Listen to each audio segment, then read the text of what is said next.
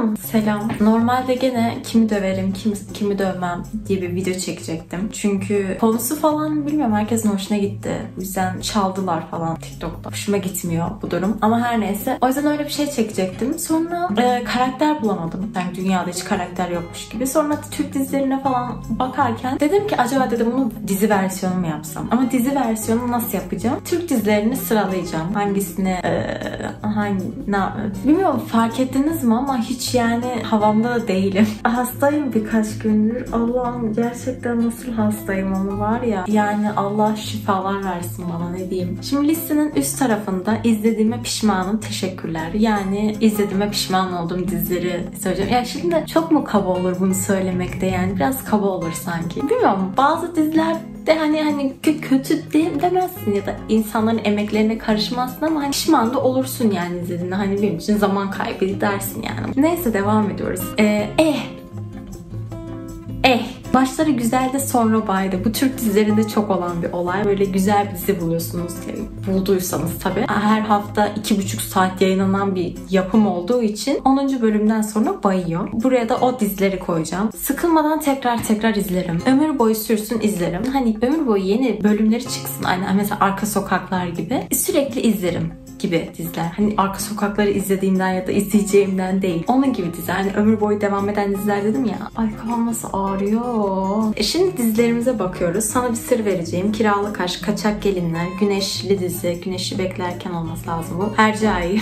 Ee, sonra Demet Akalın'ı koydum. Demet Akalın kendisini yer aldığı bütün yaz dizilerini temsil ediyor. Çünkü hani biliyorsunuz ki mesela yaz dizileri ve Demet Akalın'ın yer aldığı yaz diziler. Yani onu o yüzden topluca direkt Ay Demet Akalın mı diyorum ben sabahtan beri. Bu ikinci Güneşli dizi. Güneş'in Kızları. Ondan sonra İnadına Aşk, e, Kırgın Çiçekler, Cennet Mahallesi ne alakaysa aklıma geldi. Onu da koyayım dedim son anda. Yaşlı Cazibe, Hayat Bilgisi, Akasya Durağı, Ondan sonra Geniş Aile, Muhteşem Yüzyıl. Sonra iki, Yarım Elma mıydı? Neydi bu dizi? Ne alaka çatarım seneler önce olan bir dizi. Ben hala anamın karnındaydım neredeyse. Yani tam çıkmamıştım bile. Bunu yani bilmiyorsanız gayet normal. Doktorlar, Emret Komutanım, İki Aile miydi? Ana hemen unuttum ha. E, Yalancı Yarim, Kavak Yerleri, İşler Güçler, sonra Kiraz Mevsimi, Aşk Yeniden, Ulan İstanbul, bir de Yalan Dünya. Başlıyoruz şimdi. Hazır mıyız? Evet hazırız. Sana bir sır vereceğim. Benim en sevdiğim Türk dizileri arasında. Böyle şey tarz dizileri seviyorum. Hani travmaları olan insanların böyle bir araya gelip böyle bir aile olması. Ekin Koç vardı yani ben ona da aşıktım bu arada. E, dizi direkt bitti. Finali de çok saçmaydı. E, ve Demet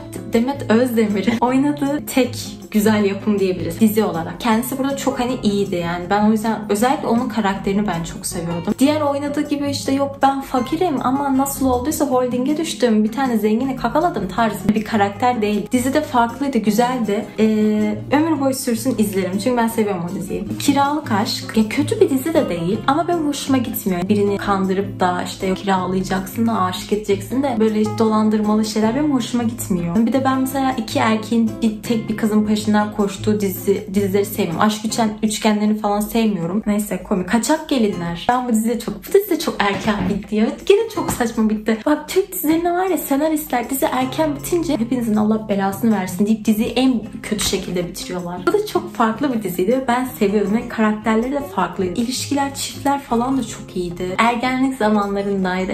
Daha biraz daha böyle hani 13-14 yaşlarında falan izleyeceğim bir dizi. Bu diziyi de sıkılmadan tekrar tekrar izlerim.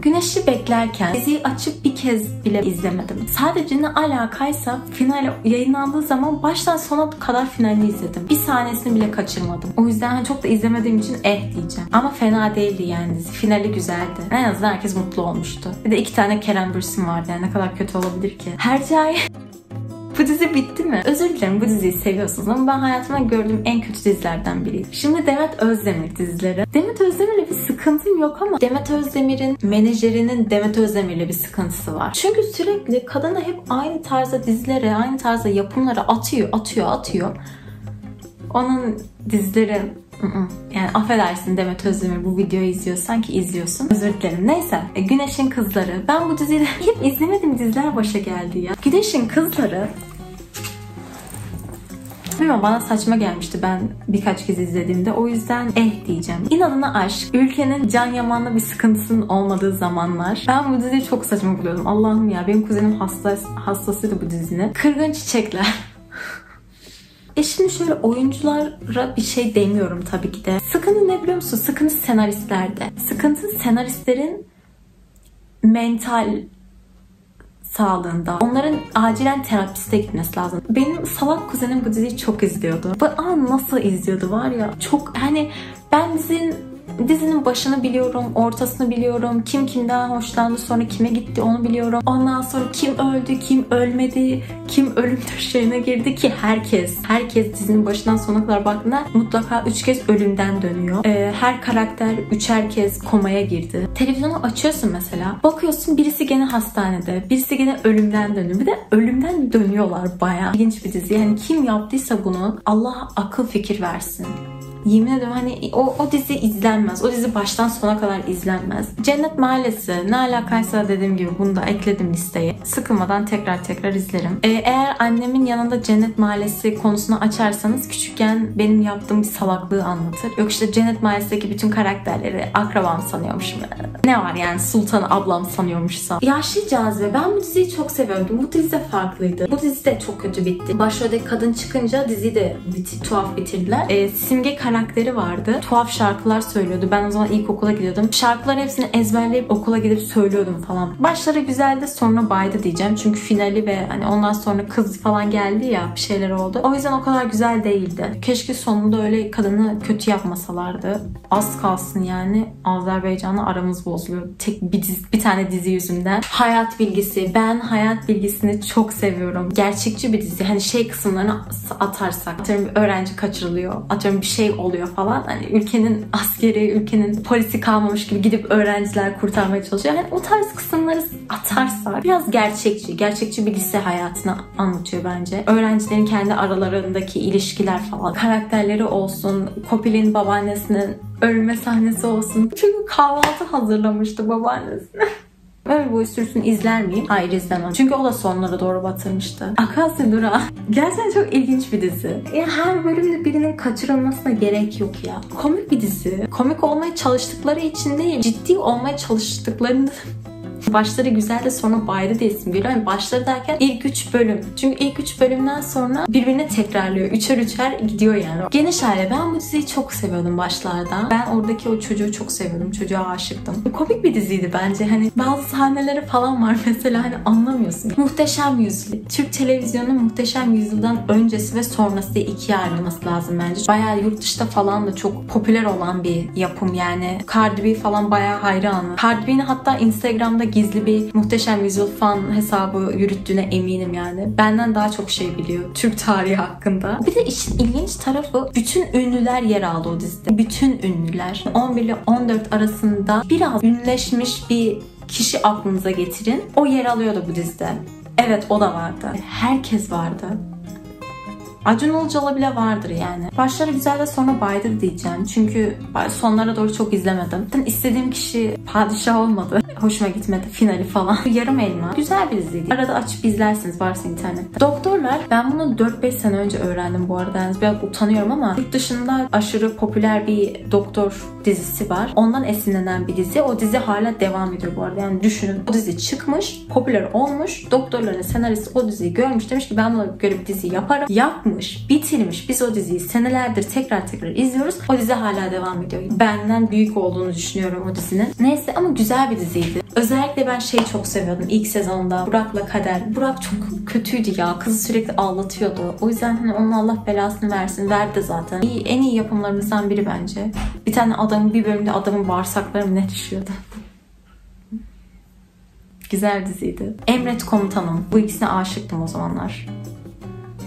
Yani çok farklı değil asker dizisi. Ama hani Bilmiyorum diğerlerinden farklıydı yani. Sonlara doğru baydı ama bence. Yani sonlarını çok hatırladığımdan dolayı demiyorum ama sonlara doğru bütün diziler boyuyor. O yüzden eminim o da sonlara doğru batırmıştır yani. Bu diziyi hala hatırlamam. İki aile mi neydi? Ben bunu küçükken izliyordum. İki tane boşanmış, birbirlerinden boşanmamışlar. Farklı insanlardan boşanmışlar. Ee, bir olay yüzünden aynı evde kalmak zorunda kalıyorlar. Ve hani iki tarafında mesela çocukları falan var ve birbirlerini hiç sevmiyorlar. Sürekli itişiyorlar falan. O zamanlar güzel bir diziydi. Hoşuma gidiyordu yani yani. Sonu, sonlara doğru hiç hatırlamıyorum ne oldu neydi, ne zaman bitti. Hiçbir fikrim yok. Ama ben hatırlıyorum ilk başlarda izlediğimi ve sevmiştim yani. O yüzden sıkılmadan tekrar izlerim herhalde. Öyle Yalancı Yarın ben küçükken izliyordum. Ee, ikisini, ikisini de çok sevdiğim için izliyordum. Nereye eklesem bilemiyorum. Kavak Yerleri. Kavak Yerleri tam bir gençlik dizisi. Benim en sevmediğim kısım Efe'yi geri getirmeleri. Özellikle Sarp Apak gelmişti diziye. Onun karakterini ben çok seviyordum. Ve Aslı'yla da daha çok yakışıyorlardı. Ne alakaysa Efe'yi öldürüp geri getirdiler.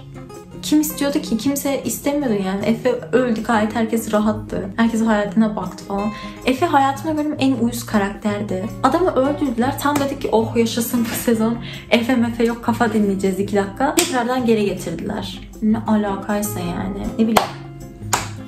Hmm, başları güzel de sona baydı. İşler güçler. Bir şey kardeşler vardı ya onu koyacaktım. Çünkü o daha popüler bundan. İşler güçler zaten direkt bitmişti. Ben onu izliyordum. 13-14 yaşındayken gülüyordum. O zaman gülüyorsam demek ki bir bildiğim vardır sıkılmadan tekrar izlerim diyeyim. Kiraz Mevsimi başlarda farklı böyle tam böyle hani 13-14 yaşında izleyebileceğin güzel bir dizi. Bir şey bu arada birbirinden farklı zamanlarda çıkan dizileri hep 13-14 yaşındayken izledim dedim. Ee, güzel bir dizi diziydi. Tam ergenlik zamanında izleyebileceğim bir diziydi. Sonradan batırdılar. Neden diyeceksiniz? Çünkü gene bak Efe gibi geldi ortalığı karıştırdı şeyin karakteri. Aşk üçgeni yaptılar ortada bir yer dizinin başlarında. Ne oldu? Dizi artık aşk üçgeni yapmayın. Zaten aşk üçgeni olmuyor. Aşk üçgeni olması için birinin gay olması gerekiyor. Bunu artık fark edin lütfen. Ondan sonra bozmuştu ve ben de izlemeyi bırakmıştım. Ama şarkıları güzeldi. Başka güzel bir sonuç bayılıyım. Aşk Yeniden. Ben başların başlarla izliyordum bu diziyi. Seviyordum da güzel dizi. Nerede bıraktım bilmiyorum. Öf diyeceğim. Ben bu diziyi bir kere bile izlemedim. Bunu niye listeye ekledim anlamadım ben de. Efsaneleşmiş Türk dizileri gibi bir liste vardı. Orada karşıma çıkınca alayım dedim. Çünkü çok popüler bir diziydi. Ben izlemedim ama. İlk iki bölümünü izledim sadece. Son olarak Yalan Dünya. Ben bu diziyi çok seviyordum. Gül, Gülse Birsel'in elinden geçen bütün yapımlar bence güzel. Çünkü karakterler falan hep birbirinden farklı ve çok böyle şey karakterler oluyor nasıl ya bak bir tane kelime var ama bir türlü bulamıyorum. Seviyordum bu diziyi de. Çok farklıydı gerçekten ve çok utanıyorum. Az önce iki saniye önce aklıma bir şey geldi. Ay Allah kahretsin ben on, onların taklidini yapıyordum bütün sınıfa. çok utanıyorum şu an. Neyse güzel diziydi yani sıkılmadan tekrar izlerim. Sıkılmadan tekrar izlerim. Allah kahretsin gidip taklidini de millete yaparım ya. Sonra diyorum ki benim neden hiç sevgilim olmadı? Neden olmadı acaba? Millete selamı taklidi yaparsan tabii ki de olmaz. Salak, aptal. Evet listemiz bu. Karnım çok ağrıyor. Listemiz çok güzel. Tam doğru. Bir tane ömür boyu süsün izlerime sadece bir tane dizi koymuşum. Sana bir sır vereceğim. Öyle kendinize de iyi bakın. Bye.